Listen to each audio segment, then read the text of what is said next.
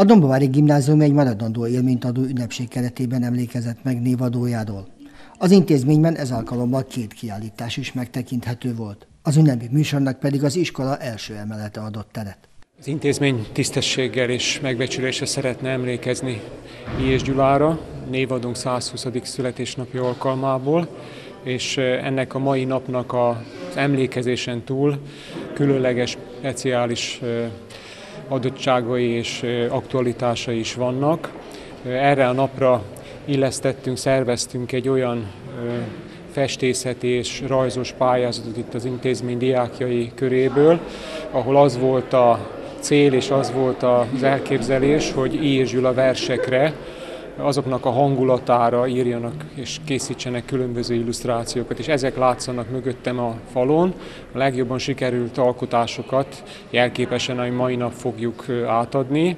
Ha valaki megtekinti ezeket a műveket, akkor láthatja, hogy nagyon-nagyon mély gondolatiságot közölnek, akár csak a költő művei, tehát én nagyon-nagyon büszke vagyok rá, hogy ilyen sok kreatív, gondolkodó, ügyes diákunk van. És emellett avatni fogjuk Vajnai János nyugalmazott középiskolai tanárnak azokat az illusztrációit, rajzait, amelyeket ő és Zsulával kapcsolatos helyszíneken, illetve az életrajzával összefonódó fontos településeken készített. A művek jelentős része szintén vers illusztráció is, tehát egy hangulatot, egy költeménynek a, a hangulatát próbálja meg elkapni és bennünk valamiféle impressziót kiváltani. Megmondom őszintén, kevésbé népszerűről számítottam, tehát nagyon elégedett vagyok. Intézményünk vizuális kultúra, tehát lánykori nevén rajszakos tanára Pap Gabriella fogta össze ezt a pályázati tevékenységet. Ő tart olyan rajz-vizuális szakkört, ahol több évfolyam is képviseltetve van, és én úgy tudom, hogy, hogy több mint 20 voltak a jelentkezők, és ezek közül a a 12 legjelesebb alkotás kerül ma kiállításra. Az intézmény névadójának, I.S. Gyulának munkásságára nagyobb hangsúlyt fektetnek az iskolai oktatások alkalmával. Legalább annyi lehetőségünk van, és ez elvárás is a mindenkor vezetés részéről, hogy ma már például a magyar nyelv és irodalom érettségén bizonyos költők és írók, szerzők pályaművei, pályaképei, művei nem kötelezőek. Nálunk természetesen a névadó hagyadéka és a névadó művei szerepelnek a követelményekben. Azt nem mondom, hogy mindig minden művét szívesen olvassák a diákok, mert főleg és prózai alkotásait tartom én is nagyon-nagyon nehezen emészthetőnek, de az egy gondolat a zsarnokságról című óriási versét, ami magán meggyőződésem szerint a magyar irodalom egyik legtökéletesebb verseinek egyike, természetesen ismerik a tanulók. Az ilyes életének meghatározó helyszíneit végigkövető akvarelleket adományozó Vajnai János nyugalmazott középiskolai tanár ez alkalomra írt gondolatait, Szabó Lóránd az iskola egykori diákja tolmácsolta. Az irodalmi megemlékezés alkalmával a magyar költő, író, drámaíró életútját is felelevenítették.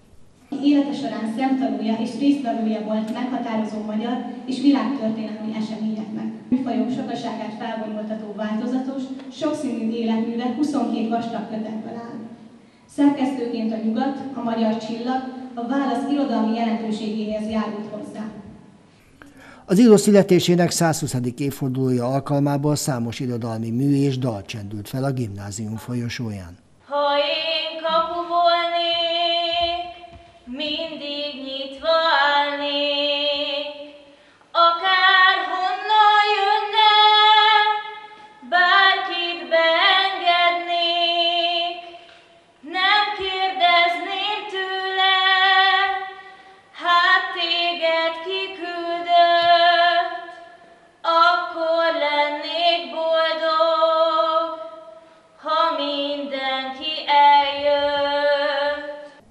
A gimnázium egyik diákja, a magyar költő egy csápatnő egy kis szobában című költeményét szavalta el a megjelent vendégeknek.